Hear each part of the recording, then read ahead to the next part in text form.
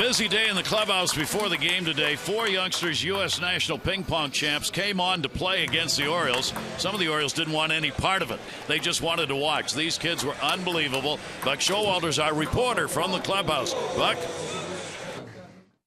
Our guys stay obviously very loose, and it's their clubhouse. And uh, these youngsters came in today, and uh, I think three of them are supposed to represent us in the Olympics, next Olympics. Unbelievable, Gary. There is another level.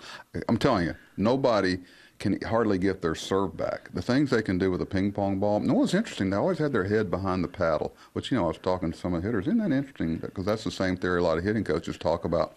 But, uh, unbelievable, these kids. And we're talking about pound for pound. One of the kids is considered the best ping pong player in the world.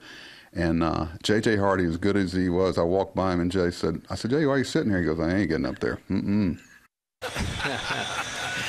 and uh, some have stayed for the game. Yeah. Good group. I mean, they had a lot of fun in the clubhouse. Obviously, ping pong is a nice, you know, thing to get a distraction, I guess you would say, from the rigors of the game. So they have a, they enjoy it, and they had a treat watching some of the best in the world play this afternoon.